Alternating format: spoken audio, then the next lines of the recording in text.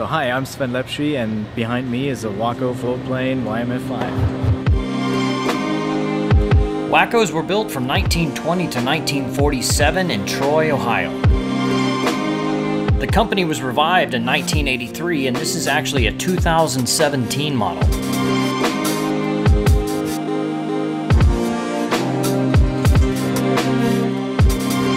The company produces a tail gear model as well as the amphibian model. It has a classic and beautiful look with modern avionics and controls. It can seat three people with one in the back and two in the front.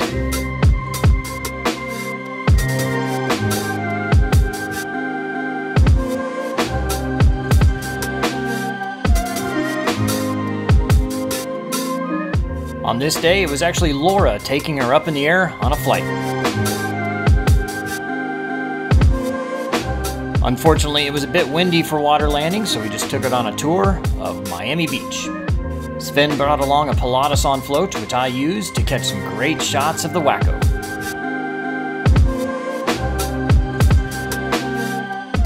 So let's meet Sven and learn more about this piece of aviation history.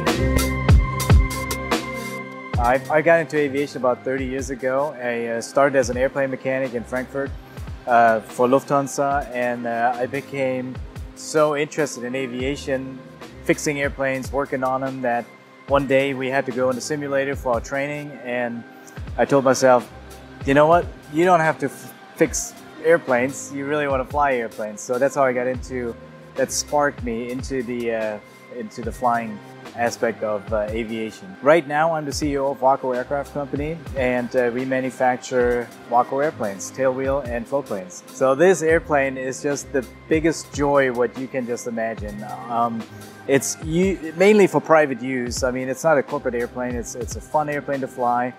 Um, it uh, it's something what you want to take. You can take every day and uh, fly around and uh, have a good time. And we have uh, like I said, it's on floats. And uh, back two years ago, I got my float, float rating, and that really got me inspired into uh, more float flying. And it's a total different experience as a pilot.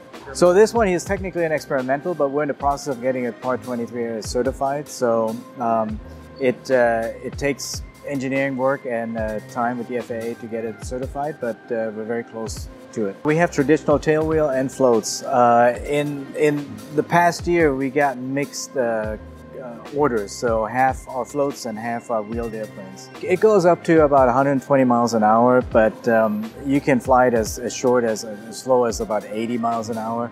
And so about 100 miles an hour is a good cruising speed. And uh, obviously in this type of airplane, you want to fly low and that's really the fun aspect of it. So uh, takes about three hours until you have to refuel again, 100 miles an hour. And uh, so it's um, just a, a, blast to fly. The engine, that's a, it's basically a new engine. Um, we, it's a zero time uh, Jacobs radial engine and uh, with 300 horsepower and absolutely overhauled zero time on it. And uh, so if you look at the engine, it's a brand new engine. So basically there's a bunch of cores and there's a company who recreates and, and overhauls all these engines. The propellers, uh, it's a, a, composite propeller, propeller from uh, MT. So uh, that, that's, a, that's a great um, addition.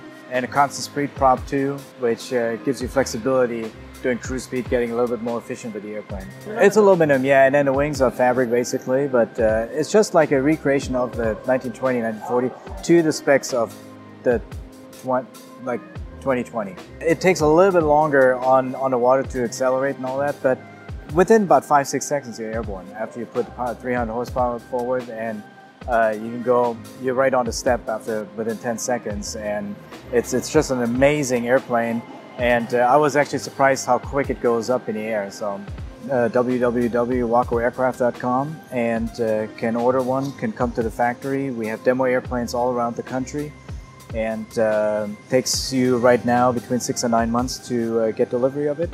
And at this point, we are expanding uh, Battle Creek in uh, Michigan, um, double the size what we have right now. And uh, we're increasing the capacity and we have received a lot of good feedback, positive feedback, and uh, lots of orders in, lots of interest. Right now we make about 12 a year and we're going to ramp up next year probably about 15 to 20. They should know that it's such a fun airplane to fly. I mean, if you are into seaplane flying, this is open cockpit seaplane flying and that is just the absolute pinnacle of aviation. That it's it's something what you cannot do every day and it's just it blew me away when I when I first did it, and it was just the best thing ever. Sven flew into Fort Lauderdale Executive Airport to meet me for the flight. And we also filmed the Pilatus on floats, which you'll see in a later video.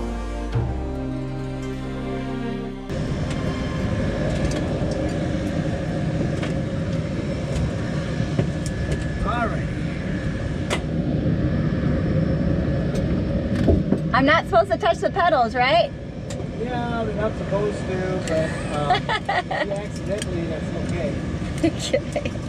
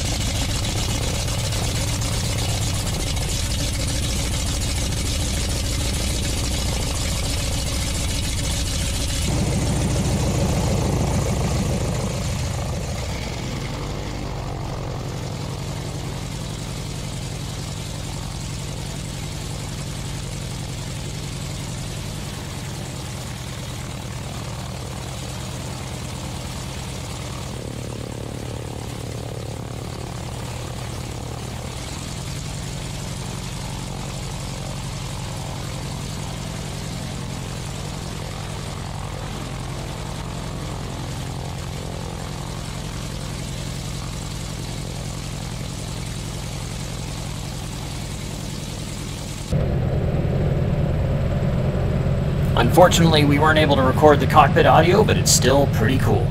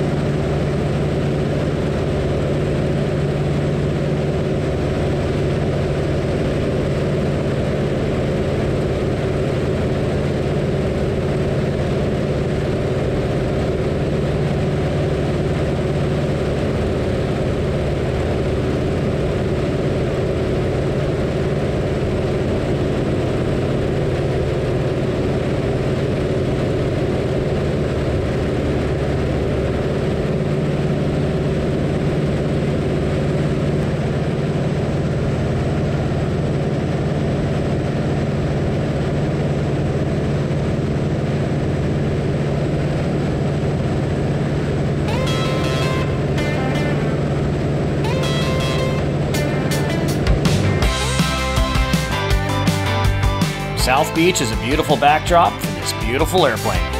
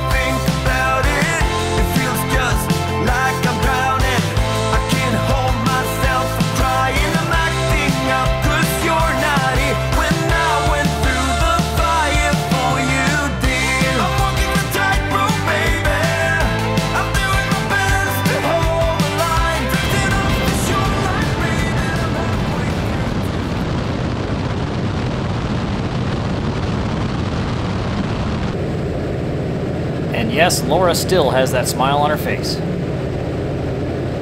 Unfortunately, the wing camera battery died, and of course, it's a radial engine which puts out a lot of oil, so the tail camera got a little smeared with oil.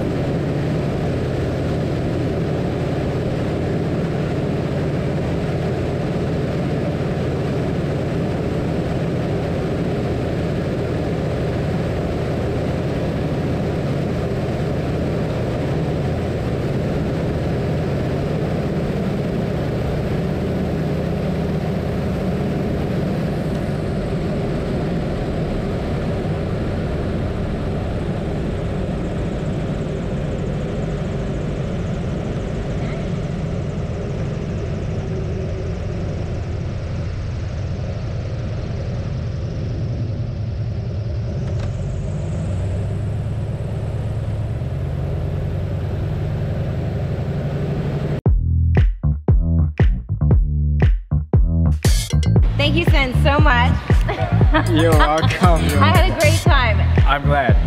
I'm I'm glad it didn't rain on us either. That's true.